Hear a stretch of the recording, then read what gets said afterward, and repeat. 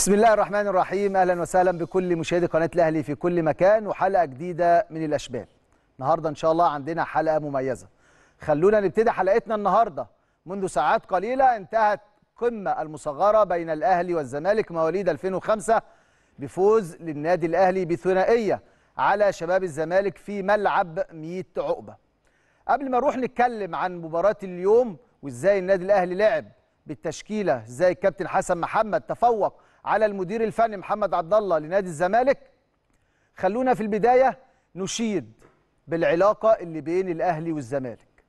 النهارده كان ناشئ الأهلي مواليد 2005 في ملعب نادي الزمالك في 100 عقبة بيلعب مباراة في الجولة الختامية في بطولة الدوري في المرحلة الأخيرة لتحديد بطل بطولة دوري الشباب 2005 النهارده كان في استقبال رائع جدا من مسؤولي نادي الزمالك لكل لاعبي النادي الأهلي لكل الجهاز الفني لكل الجهاز الإداري والطبي.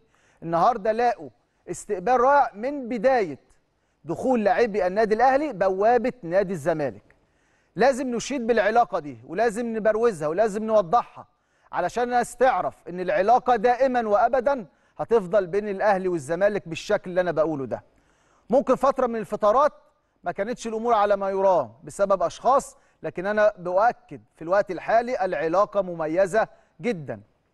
النهارده كان كل المسؤولين في نادي الزمالك كل شوية يدخلوا أوضة اللبس ليه لاعبي النادي الأهلي والجهاز الفني. لو محتاجين أي حاجة إحنا تحت أمركم وأنتم موجودين هنا في بيتكم. بعد المباراة ما انتهت كمان ترك أمن نادي الزمالك لاعبي النادي الأهلي والجهاز الفني يغنوا ويفرحوا ويرقصوا ويحتفلوا بفوزهم النهارده على نادي الزمالك في ملعب 100 عقبة. النهارده كل مجلس إدارة نادي الزمالك كان موجود في المباراة، كابتن حسين لبيب وكل أعضاء مجلس نادي الزمالك كانوا بيتابعوا مباراة الأهلي والزمالك النهارده.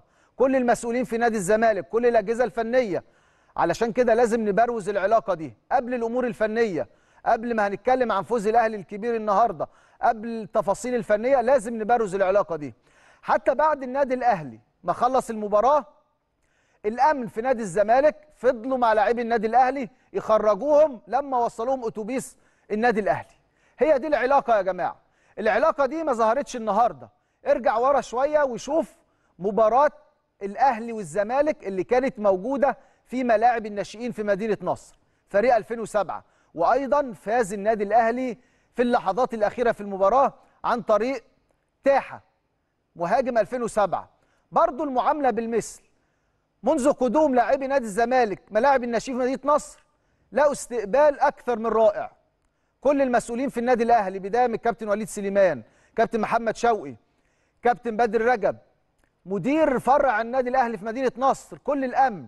برضه كانوا في استقبال لاعبي نادي الزمالك وجهازهم الفني والإداري والطبي.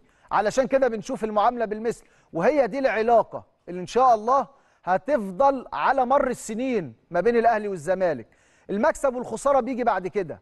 لكن هي دي العلاقة اللي إحنا لازم نبروزها ولازم نؤكد عليها ولازم نقول إن هي دي العلاقات المحترمة اللي بتبدأ بين الإدارات. تعالوا بقى نتكلم عن التحليل الفني لمباراة اليوم. دي المرحلة الأخيرة أو أول مباراة في المرحلة والتصفيات النهائية لتحديد بطل بطولة دوري 2005 بطولة الجمهورية. المباراة كانت في ملعب 100 عقبة. تعالوا نشوف التشكيل اللي ابتدى بيه الكابتن حسن محمد النهاردة. لقاء اليوم رغم الغيابات الكثيرة للنادي الأهلي. النادي الأهلي كان عنده عدد كبير جدا من اللاعبين غاب عن مباراة اليوم. هقول لكم مين لكن لما أستعرض مع حضراتكم التشكيل. الأهلي النهاردة لعب بطريقة 4 3 1 2 في حراسة المرمى حازم جمال. خط الظهر من اليمين يوسف سيد عبد الحفيظ لعب back right.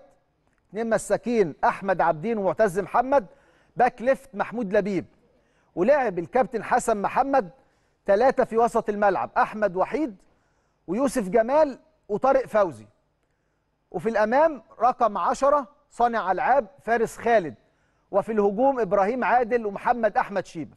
والتشكيل قدامنا كده رغم الغيابات الغيابات اللي موجودة في النادي الأهلي لما نقول أحمد خالد كباكا خرج للإعارة. ومحمد زعلوك للإعارة المودرن فيوتشر. بنقول عبد الله بوستنجي خرج إعارة لنادي سموحة.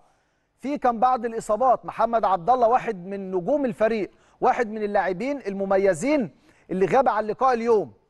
النهارده لما تشوف عدد من اللعيبة الكتير غايبة عن النادي الأهلي وتشوف النهارده المدير الفني وهو بيقدر يعمل توليفة مميزة يقدر يسيطر بيها على المباراة يبقى نقول له النهارده أنت مدرب محترم حافظ إمكانيات لاعبيك.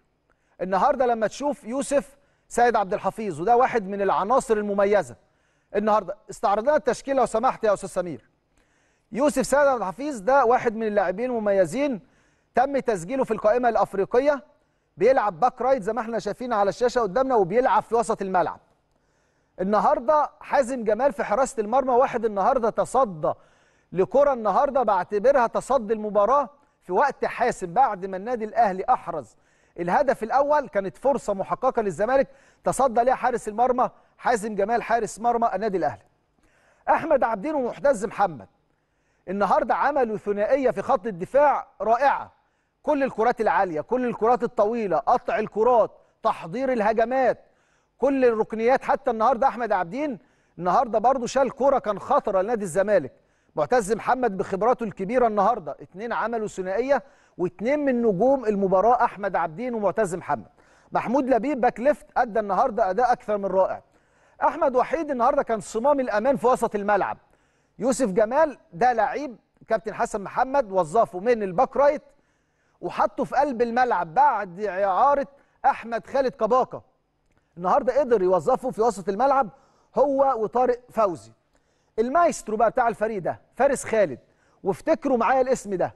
فارس خالد ده واحد من نجوم فريق 2005 واحد من نجوم منتخبنا الوطني بقيادة الكابتن وائل رياض 2005 النهارده قدم مباراة رائعة وعمل هدف اسيست رائع لمحمد أحمد شيبة اللي النهارده كان هو وإبراهيم عادل بيلعبوا ثنائية في الهجوم.